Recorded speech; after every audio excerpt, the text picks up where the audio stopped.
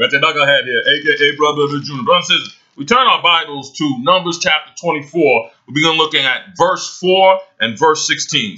Numbers chapter 24, verse 4 reads, He hath said, which heard the words of God, which saw the vision of the Almighty, falling into a trance, but having his eyes open. Verse 16 says of Numbers chapter 24, He hath said, which heard the words of God, and knew the knowledge of the Most High, which saw the vision of the Almighty, falling into a trance, but having his eyes open. Man, Lord Adam blessing to the reading. Did he hear it? Did he it? Did he have it? to the distribution of this great word taken from the greatest book that man could ever present. And my brothers, this God's word. We give God all the honor, all the glory, all the praise the precious name of his son, our Lord. Praise the Lord. praise the Lord. Brothers and sisters, in Numbers chapter 22 to 24, it's recorded where the people of God are going through the wilderness. And as they're going through the wilderness, being providentially protected and cared for by Jehovah God, God's people, they come across the, the king of Moab. And the king of Moab is well aware of that the people of God are coming and how they were able to to conquer all the, the nations that they were going through. And so the king of Moab got scared. And so he hired this fortune teller, this magician, uh, who had this notorious reputation of uh, casting witchcraft on people. And so the king of Moab hired this um, fortune teller, this magician, to put a curse on God's people because they were coming and more than likely uh, conquer the, the, the, king of Moab. And he didn't want that that happen to him. So he hired this uh, fortune teller, this magician, to cast this witchcraft and, and curse the people of God. And so this fortune teller magician agreed. He went on top of a mountain and he, he wanted to curse them. But what God did to this um, fortune teller, this magician who practiced witchcraft, instead of putting a curse, he blessed God's people. And then he went high on a high mountain, this um, fortune teller, this magician who was hired by the king of Moab to put a curse on God's people. He went on a higher mountain, high part of the mountain, to curse God's people, but instead he was blessing God's people. And the king of Moab got a little upset with this um, fortune teller magician who has this practice of witchcraft to curse people, and he all he sees that they're just, being blessed. And so he's like, "Hey, what's going on? You, you're not doing what I'm telling you to do. The people are being blessed, and I want, want you to curse them." And then if we pick this up in Numbers chapter 23, verse 20, and this is what this fortune teller, this magician who has who, who practices witchcraft on putting curses on people, this is what he says to the king of Moab. Why he's why and, and he says it in this in Numbers chapter 23, verse 20. He says, Behold, I have received commandment to bless and he has blessed. And who's the he that this um, magician fortune teller talking about? Jehovah God. And he has blessed. And I, this uh, two-bit con artist charlatan, says, I cannot reverse it. And then watch what he says. He's telling this to the king of Moab.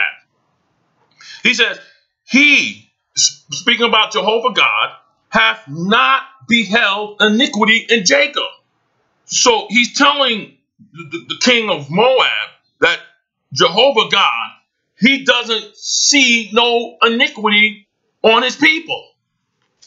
And then watch this. Neither hath he seen, he's telling this to the king of Moab about Jehovah God in regards to his people. He hath not seen perverseness in Israel the Lord, the capital L, capital O, capital R, capital E, the covenant keeping God, the God who has a covenant with his people that he's going to keep because he loves them, Jehovah God, because the Lord, his God, is with him, is with his people. And the shout of a king is among them. And so we see that the, the, the, the, the this magician, this fortune teller, this charlatan is telling the king of Moab that Jehovah God don't see no iniquity on his people. He don't see no perverseness on his people. He don't see nothing bad on his people. And then we see in the next chapter where he goes on to explain the vision of the Almighty, and he uses the term vision of the Almighty two times. And so the what the the the magician, the fortune teller, is going to tell the king of Moab about why you know God is blessing them, and who God bless, he can't reverse it. He's going to show him about what Jehovah God sees in his people. In the 24, 24th chapter that begins with, and when Balaam, this is the the, the, the charlatan, the, the the the the, the magician, the fortune teller who, who practicing witchcraft and curse and when Balaam saw that it pleased that it, that it pleased the Lord to bless God's people. It pleases God to bless his people. He went not as other times to seek the enchantments, but he set his face towards the wilderness. And Balaam lifted up his eyes, and he saw Israel, the people of God, abiding in his tent according to the tribes. And watch this. And the Spirit of God came upon this charlatan, false prophet, fortune telling magician who practices witchcraft the Spirit of God came upon him, or was on him. watch this. And he took his parable. So he's going to say something because he can, he's got the Spirit of God on him. Still a, a, a, a fortune teller. He's still a, a magician. He's still a, a charlatan. And, and, but, but, but the Spirit of God is on him. Spirit of Jehovah God is on him. And he took his parable and said, Balaam, the son of Beor, hath said, and the man whose eyes are open have said. So the charlatan's eyes are now open to the things of God. And he's going to, and, and watch this. He have said, which heard the words of God. This is the words of God coming out of this charlatan. He, he heard the words of God, and, it's, and because the Spirit is, of God is in him, and, and he heard the words, and now he's speaking the words of Jehovah God which saw the vision of the Almighty. So he's speaking about what God sees, what Jehovah God sees. Because we saw in the previous chapter, he, he, he spoke about what he doesn't see. He doesn't see their sins, he doesn't see their iniquities, he doesn't see their perverseness. It's not saying that they don't have sin, they don't have perverseness, they don't have uh, uh, uh, shortcomings. It's just that he doesn't see it. Jehovah God. But he's going to show you what he does see. And watch this. Falling into a trance, but having his eyes open to the things of God. How God sees his people. And watch this. Verse 5. How goodly are thy tents, O Jacob, and thy tabernacles, O Israel.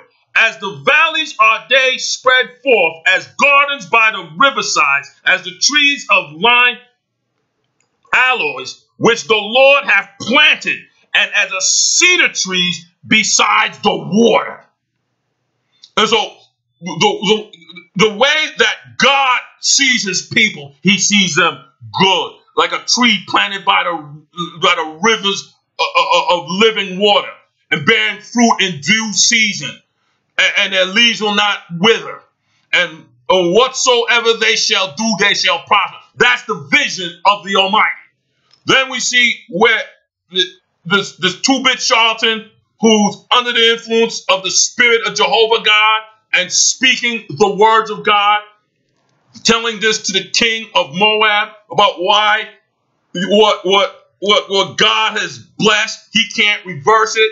What what why God doesn't see the, the, the peoples of God's shortcomings, sins, iniquities, transgressions, failures, He doesn't see that, but what he does see, he says in uh, verse 16 of Numbers chapter 24, again, the vision of the Almighty.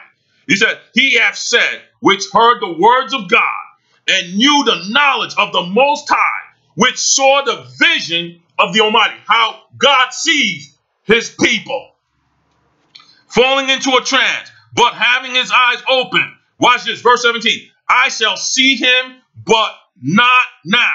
I shall behold him, but not nigh. There shall come a star out of Jacob, a scepter shall rise out of Israel, and shall smite the corners of Moab. No wonder the king of, uh, uh, uh, of Moab was so scared. And destroy all the children of Seth. The, the death are the children of, of, of the enemy of God, people. And verse 18, and Edom shall be a possession, Seir shall also be a possession for his enemies. This is talking about the, the, the defeating of the enemies. And watch this. And Israel, God's people, shall do valiantly. And out of Jacob shall come he. And who's he talking about? He's talking about our Lord and Savior Jesus Christ. And out of Jacob shall come he that shall have dominion and shall destroy him. Him and who's that him? That's that's the enemy. That's the devil. That's uh, anything that come against God's people.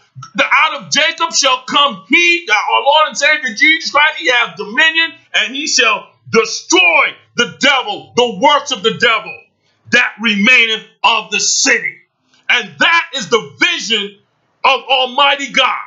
He doesn't see our sins, our iniquities, our transgressions. And why? Because what he sees is out of Jacob comes he, our Lord and Savior Jesus Christ, that will destroy the works of the devil and we will be edified. God is glorified, and the kingdom of darkness, praise the Lord, is nullified. May the Lord bless you. May the Lord keep you. May the Lord's face shine upon you. May the Lord lift up his constitute. May the Lord give you his peace. And I commend you all to God and to the word of his grace, which is able to build you up an inheritance to those who are sanctified in the precious name of his Son, our Lord and Savior, Jesus Christ, Savior. And after him that is able to keep you from fault, present you faultless in the presence of his God. Both glory, majesty, dominion, power, both now and forevermore. Praise the Lord. Amen. The vision of our Almighty God.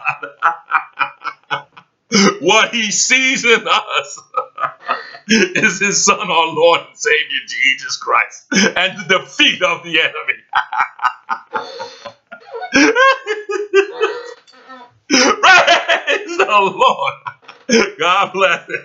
God bless.